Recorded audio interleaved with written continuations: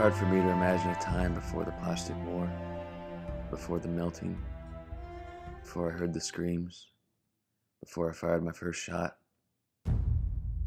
before it all started. So I don't even try. All I think about is fighting.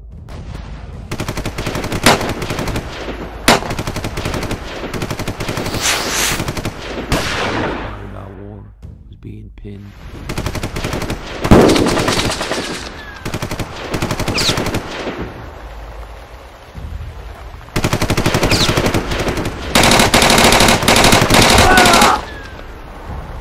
I killed one guy, but we were still pinned.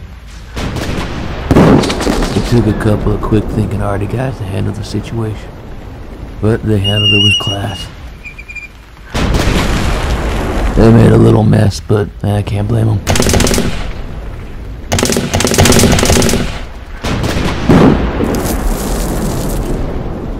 They got the job done. We were able to move up. Well, at least we thought we were. Commander ordered us out, but just ahead, I found a anti-tank weapon of some sort. And, uh, well, it wasn't there for decoration.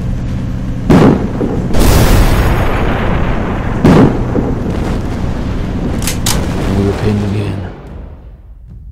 I don't want to talk about the rest.